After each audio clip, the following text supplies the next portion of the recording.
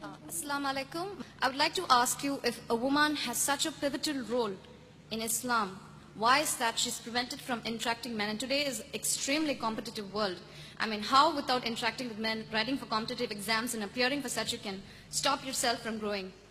The sister asked the question today in the world of competition, without women interacting, how can they compete in this world, etc. Sister, Islam is a religion which has uplifted the woman and Muhammad Sallallahu Alaihi Wasallam is the major benefactor. There is not a single rule in Islam which prevents the upliftment of the woman. But in the name of upliftment, Islam does not believe in degrading women. If you see history, sister, history of Babylon, history of Greek, history of Egypt civilization, women were only used for sex and pleasure. And today if you see the Western world, the Western society talking of uplifting the woman have actually degraded her to a status of mistresses, of concubine, of society butterflies, which are mere tools in the hands of pleasure seekers and sex marketers. Today, the Western society, talking about women's liberalization, it is nothing but a disguised form of exploitation of a body, of degradation of an honor, and deprivation of a soul. Sister, Islam never, never wants to prevent the woman from upliftment. But I don't know of a single job or a single competition in which a woman does not interact with men and she cannot advance. All the jobs which involves unnecessary interaction of the men aren't jobs which are fit for the woman to be done. There's not a single modest job which I know which prevents the woman about the modesty role. If there's a job, any job, which prevents you from doing the hijab, hijab not only of the body, not only of the clothes, the way you talk, the way you behave, the way you think, all this comes under hijab. This hijab which I spoke earlier about the hijab that the sister asked me, that's one part of hijab that is the clothes. There are hadith in which the wives of the Prophet, they did cover their face. But everything what the Prophet did is not first fard. Similarly for the wives of the Prophet, because the Ummul Mumineen, they were mother of the believers. For them was a different degree. So they did cover the face, but it's not for, for the women. So here if we analyze sister, the hijab besides hijab of the clothes, the hijab way a person talks, the way a person behaves, and these people when they talk about equality, when the Western world talks about equality, I ask them, that when men and women are equal, so why don't you have a boxing match between the men and women together? Why? They're equal. Even they agree that they're not equal. When you have a 100 meter sprint, why do the women run differently? Why do the men run differently? Why? Are they degrading the women? Yes or no?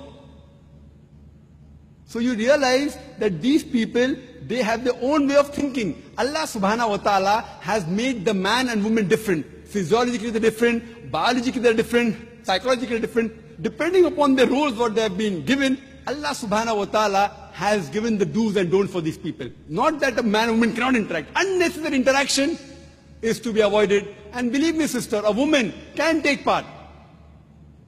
We have examples and if you hear my talk on women's rights in Islam, sister, there are various examples. Now in the Western world, when they sit for examination, men and women sit together. So there they consider them equal.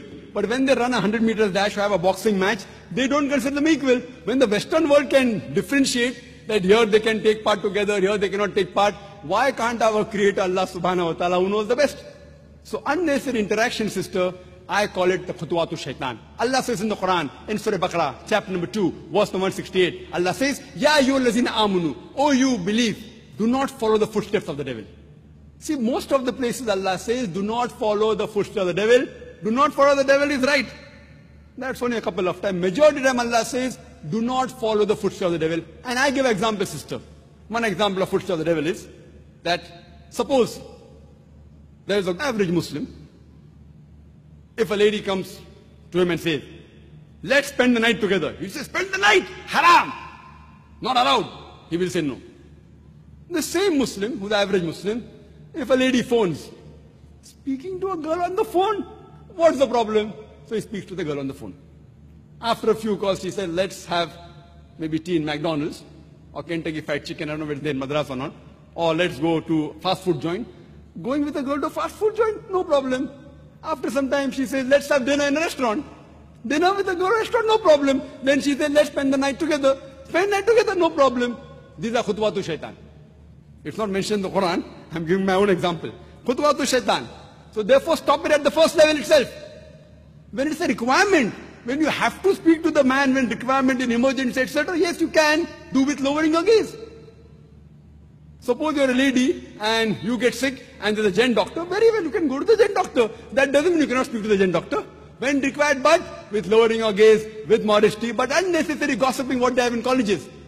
In colleges, they gossip, very common, not only in the Western world. In Western world, according to the statistics of USA, more than 90% of the women, before they pass school, they have lost their virginity. Do you know that? Same in UK. Even in Bombay, I was shocked.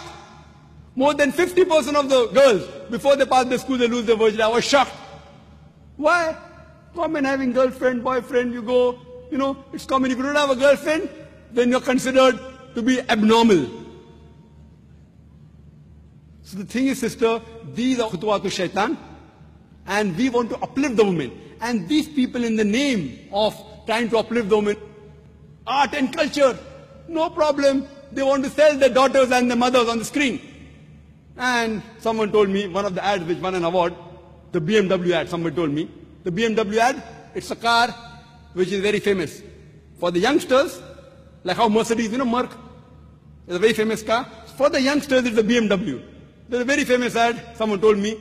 There's a girl standing on a bikini in front of the car, and it says, test driver now. Who, the girl or the car? What are they doing? They're selling our daughters. They are selling their sisters. We Muslims, we don't want that. In the name of upliftment, we don't want to sell our daughters, don't want to sell our sisters. We respect them, we love them, and we revere them. This is the reason, sisters, this does not degrade the woman, it uplifts the woman. Hope that answers the question.